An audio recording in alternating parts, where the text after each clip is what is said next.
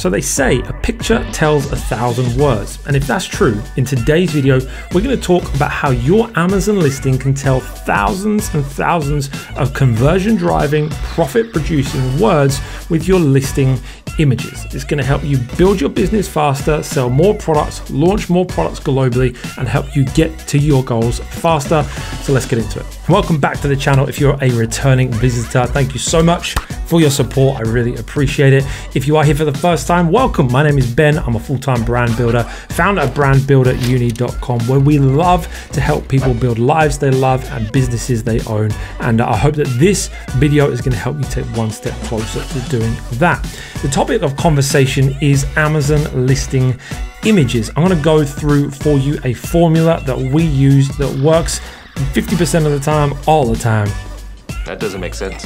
And everything that I'm talking through today is in this ebook here, uh, which is our Amazon listing playbook uh, that you can literally go through and check off. It goes through our four stage process for creating, testing, all that kind of stuff for creating a listing on Amazon. If you want to grab that, you can get it in the link in the description below for free. It's got like a checklist at the end as well, so you can literally check things off as you're building out your first Amazon listing, and uh, and hopefully you find that helpful, so you can grab that below. Also, stick around to the end because I'm going to be talking about how you can use what we're talking about in this video with Amazon listing images to actually help you in your product research. So if you're just starting out, you're trying to find a product to sell on Amazon, this will be a real uh, little hack that you can use to help find products that are potentially profitable to sell on Amazon. So stick around for that.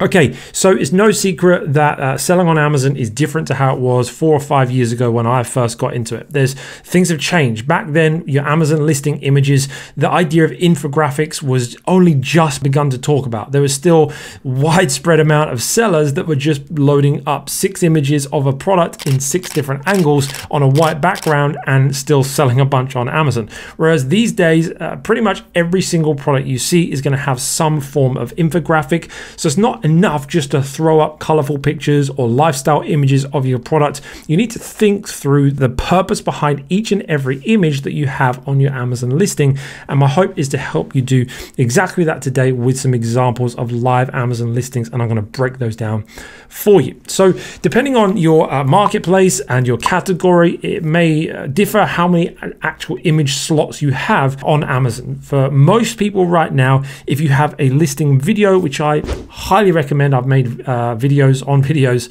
about that on my channel, which you can grab uh, on the channel. If you could do have a video on your listing, you're going to have six slots. One of those is going to be taken up by the main image. Now, we're not going to spend loads of time talking about the main image today because it's more the sub image sort of formula that I want to talk about. But of course, your main image is critically important because it needs to attract the click. It's one of the only things really that's going to drive clicks onto your listing when people find it in the search results. So you need to make sure that it is uh, eye catching. It's going to pop, you know, use colors in it from your product. Of course, you know, the actual product has to be on a white background. I know there are some sellers that don't have their product on a white background and get away with it somehow. Uh, but TOS, Amazon Terms of Service, your main image needs to feature just your product on a white background. However, of course, you can be creative with that. If your product has parts in it or multiple components, you can spread them out, spell things out, shape things out, you know, get creative with it because if it just shows your product is within TOS, but it's going to pop out, it's going to stand out, it's going to attract that click good little hack for you on this before we move on to the sub images is uh, get your designer or yourself, whoever's doing it, to create some options for your main image and literally just get a little image of that. Search for your main search term, your main keyword on Amazon, and just hover your image over the listing results and see whether you feel like it stands out enough to attract that click. Okay, so on to the sub images. Now, the first type of uh, image that I'm going to suggest that you use, we call this our uh, image creation form formula. Now, of course, uh, formula sounds like only this works. Uh, maybe there is a, a, better name for it, uh, but for some people, I know you like a, a real clear framework that you can literally just copy and paste into your context. Some people, though, this is going to be a little bit of a launch pad, give you some ideas, give you something to think about, and you're going to go in your own direction with it. And that's totally fine. I'm not saying only this way works, but this is a great starting structure if you're just beginning. First, two or three images or sub images after your main image, I'm going to suggest to you should be benefit images. And now, uh, if you've watched my channel for any length of time, you'll have heard me talk about the difference between features and benefits. Features being what your product does, and benefits being what your product does for the customer. As private label brand builders, we can get so focused on the features because we spend time, effort, energy. Uh, we bang our head against the wall talking to suppliers in the Far East, trying to get what we want out of our product. And then we get the final uh, version of it and we're proud of it. These features that we've created are so awesome. But the customer doesn't care about the blood, sweat, and tears you put into it. What they care about, ultimately, when you boil it down, is how it impacts their life. So it's really important that we do draw out these benefits. Like I said, uh, the, the world of images on Amazon has changed a lot. So we need to actually make sure that these images position our product as best as possible. Your images are going to be one of your main conversion aspects for most people, especially those on mobile. They're going to see those images really early, early along, swipe through them, and instantly get an impression of whether your product meets their need. And that's why it's so important in those first two or three images to clearly define the benefits. Now, in terms of what the image uh, should look like, and I'm going to show you some examples in a minute. This example here is probably a little bit outdated.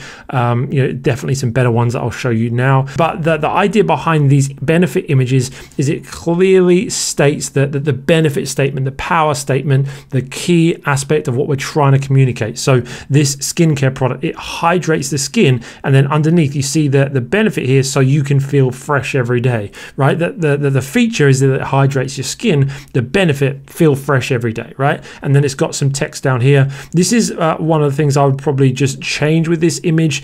Uh, just one big title with a description like that is usually enough if the image is also clear and shows uh, what you're trying to communicate. You know, again, picture tells a thousand words, right? And actually, the mistake I see people make too often is they're trying to use too many words in these images. Actually, let the picture tell the story, right? Let, let the picture tell the words. And so uh, these words, if you were going to use them, I would make them much bigger now because of the prevalence of mobile shopping. Uh, you know, those images, those uh, those words need to be much bigger. I would try and limit the amount of words you're using on one image to honestly 15 to 20 even 20 is a little bit high. Make sure though if you're going to use that many words you make the text nice and big so it's nice and easy for people to see. Again i'll show you some examples in a minute. So call out the benefits. Yes highlight the features. You know this product has this feature here but remember to include the benefit in that.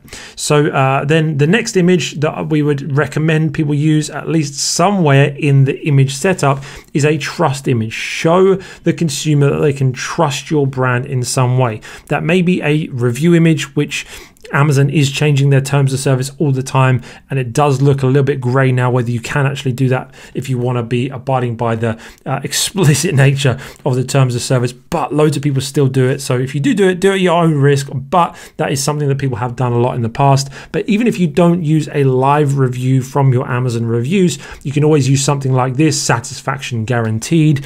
Uh, show people why they can trust in your brand.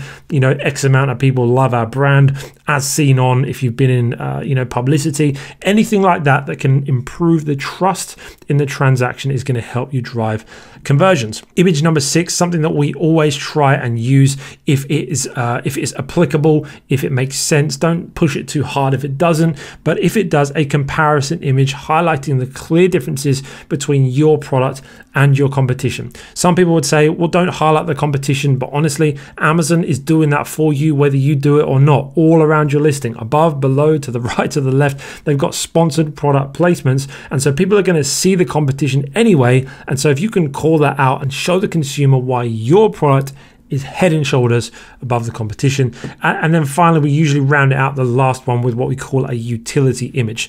Again, of course, depending on the type of product you're selling, you may want to flip this around a little bit. A utility image would be something like uh, how to diagrams, how you use the product, dimensions, quantities, other key aspects of the product that really are going to help the, the customer understand what it is about your product that's so great.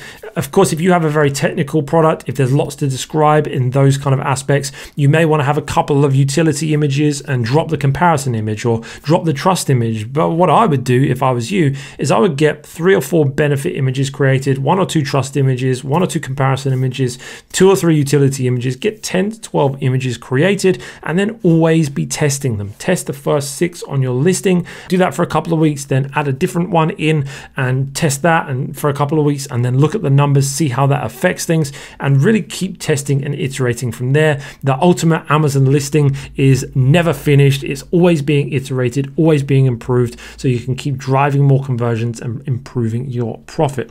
So that is kind of like the structure your benefit images, your trust images, your utility images, and your comparison images that we always include in some format in the new listings we created. And uh, let's just look at a few examples just to show you here uh, what the different versions of these are. Now, Anker are someone that I always point to as being a great example of good imagery. They, of course, have really high quality lifestyle imagery in these sub images. Obviously, just the main image really sharp with a white background, but then their sub images just show the product in action. They show uh, this would be like a utility image showing the, the different materials, just showing how what it's like inside. You can get this done, by the way, this is not a photo, this is like a 3D render that you can get, uh, you know, easily done on Fiverr, that kind of thing and uh, and then it's got some what I would call more benefit images. These are benefit images, but what I love about what Anker does is they really minimize on the text in use. So it's really clear.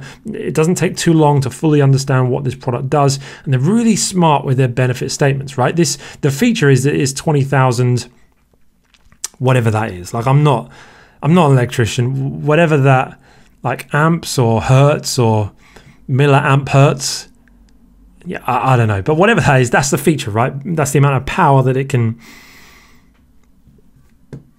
charge, produce. Anyway, that's the feature. But power for days, uh, it's kind of a feature, but also a benefit, right? Because it, it, makes you understand that I know if I get this product, I'm not just going to have 20,000 mega amperhertz. I'm going to have power for days. That the customer knows what the benefit is for them. Really smart. Universal compatibility. Uh, again, it talks about the feature Anker's intelligent device de- detection technology. Most people would use that and, and major on that, whereas obviously Anker are communicating the actual benefit to the customer, which is is the universal compatibility, backing that up also with the images, not just the words that are telling the story, but these images. It shows all of the compatibilities there. Again, great, great image. And then I love this one Adventure Tier Tough. Uh, you, they're showing you it's certified by the Anker Labs one meter drop test feature of the product, but then you know the benefit is that I can go and adventure with this product and it's going to stay safe. So, a really great example of some benefit driven infographics uh, that really do convert. And it's no surprise that Anker continued to grow. Last time I checked, they were doing something like $500 million a year in sales, continue to grow at a rapid pace. So, uh, it's a really, really great example to follow there. Uh, here's an example of one that, again, communicates the benefits really well. lovely, just engaging image here, really nice image. But when a lot of people would just talk about the features of, you know, a year's supply or just show a, a lifestyle image without any more info, this one here, it says small, easy to swallow vegan tablet. So you're including the fact that it's small and vegan, but again, you're communicating the benefit to the customer that it's easy to swallow. So instantly, they're, they're going to know I'm not going to have a problem swallowing these tablets. Okay, add to cart, boom, I'm in. Next up is a brand called Sadara, um, which is a brand that a fellow YouTuber Tom Wang, who I've interviewed on my channel before, he built this brand and sold it recently for multiple seven figures. He tells the story on his channel. Definitely check it out. He's a legend in the space. Got some great information, and uh, this is a great example of a comparison image. Sadara, by the way, their branding, their infographics, uh, you know, top of the game. Really, really good. I love what they've done with these infographics, but it's this one in particular that I wanted to show you because it's a, a, great example of a comparison image. You've got their brand down the left hand side and then other brands down this side. So that's one way of doing it. Or you could do, um, you know, the, the, the kind of the feature or the benefit here and then have your logo and other brands logo and have ticks and X's. Or you can just do a straight up comparison like that. This is this is easy to create. I know they would have done this in like Photoshop and put a lot of time into the font and the colors and stuff like that. But you could also make this in Canva for free yourself, right? It doesn't have to cost you an arm and a leg to create this. So, uh, you know, really, really good example of an image there. Uh, another one uh, is a, a, good example here is a utility image. This is what we would call a utility image. So the Anker and the vitamin B12 were good examples of your benefit images. Your Sadara skincare one is a good example of your comparison image. Now, this is a great example of a utility image because it's showing you how you actually use this product, the context of how much dosage you're going to need. This is going to help someone know how much they need to order, whether they feel it's going to be cost effective. So, again, good buying decisions that you're going to help people make with this utility image. So a few examples there of what I would deem as, as good infographics that are going to help convert uh, your products on Amazon. Like I said, uh, you know, following that kind of structure of big bold title, a little bit of text, less than 20 words on here, nice big bold text, so it's easy to read on mobile. It's really going to help you drive conversions. A little bit of an extra added bonus for you here. If you're worried about Chinese sellers coming into the Amazon space, which sometimes people get, you know, their heads in a spin about, have a look look at this Amazon brand. Clearly, Amazon. This is crazy, right? This is an Amazon brand. Clearly, Amazon have bought this brand Umi. They bought them out. Saw, seen them selling well on Amazon. They bought them out, and uh, and they just haven't bothered to upgrade their infographics. And so, if you want to look at an example of how not to do infographics, here they are. I mean, unbelievable. Hey. Anyway, so if you thought that uh, you know Chinese sellers were going to come in and dominate Amazon. Well, certainly not yet anyway. Okay, and just to finish up with a product research hack that could help you find your next profitable product.